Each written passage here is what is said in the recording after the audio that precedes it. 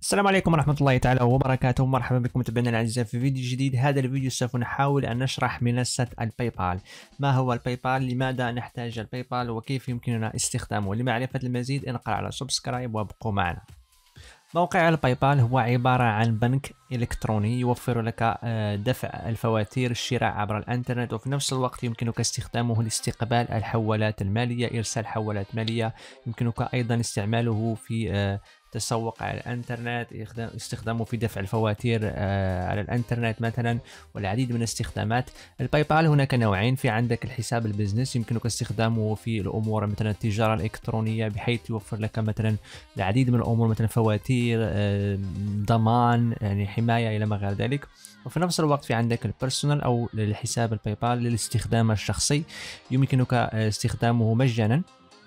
ومثلا دفع فواتير مثلا الشراء أونلاين سواء على منصة ال eBay وهي منصة عملاقة مثلا ال eBay الأمريكي وفرنسي وما غير ذلك كلها تدعم حساب الباي بال ويمكنك الشراء سواء باستخدام الرصيد على الباي بال يعني شخص يرسل لك المال على الباي بال انطلاقا فقط من الإيميل أو آه، استخدام مثلا آه، بطاقة credit card أو ماستر كارد إلى ما غير ذلك.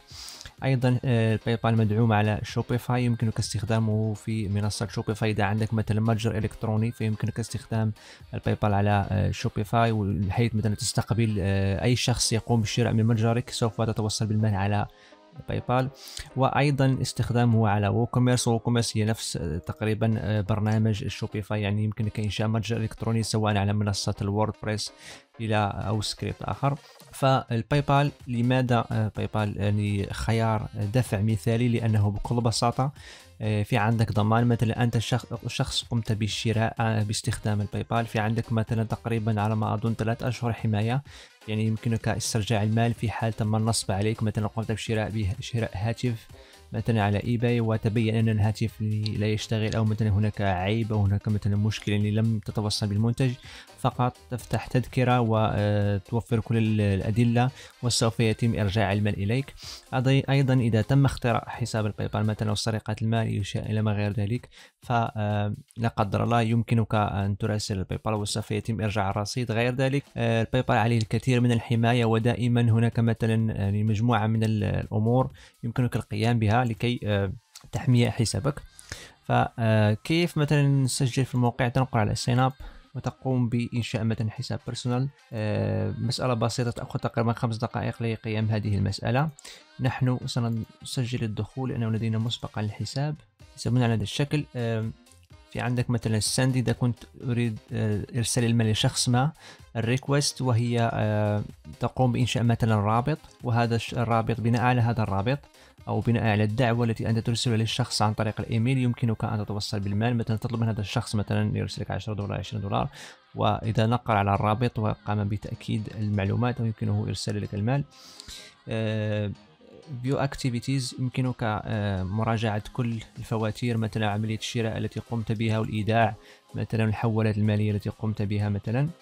manage estimate إذا كنت تود مثلا تقدير كم ستكلفكم مثلا الفاتورة أو مثلا الشحن إلى ما غير ذلك. وهنا لديك مثلا الحسابات البنكية والبطاقات إلى ما غير ذلك. الجميل في الباي بال هو أنه يمكنك آه، استقبال المال عن طريق مثلا تبرعات مثلا تقوم بإنشاء آه، رابط. وهذا الرابط أي شخص يدخل هذا الرابط ويقوم بكتابة المبلغ وبعض المعلومات الحسابية الخاصة بالحساب يمكنه أن يرسل لك المال. آه، إذا كان عندك مثلا رصيد على باي بال كل ما تقوم به لكي تحول هذا الرصيد إلى الحساب البنكي نقول مثلا transfer to bank account نقوم باختيار البطاقة البنكية والحساب البنكي لدينا. نقوم بكتاب كتابة المبلغ الذي نريد إرساله. ونقع على next. نقوم ب transfer now. قرضان وسيتم إرسال المال إلى حسابنا البنكي في خضم تقريبا 24 ساعة بدون أي عمولة بدون أي fees. وفي بعض الأحيان في بعض البلدان يجب عليك أن تدفع مثلا فواتير أو تدفع مثلا عمولة للباي بال ولكن في بعض الأحيان ليس دائما. آه هذا كان شرح بسيط للباي بال إنه مسألة ضروري يكون عندك الباي بال في هذه الأوقات لأنه آه، يتم دعمه على جميع المنصات ومسألة ضرورية يكون عندك باي بال لأنه يمكنك مثلا إنشاء متجر إلكتروني يمكنك مثلا بدايه الربح من الإنترنت ونحن في القناة نشارك مجموعة من الفيديوهات آه، حول الربح من الإنترنت وبضروري يكون عندك باي بال لأنه لكي تبدأ العمل على الإنترنت.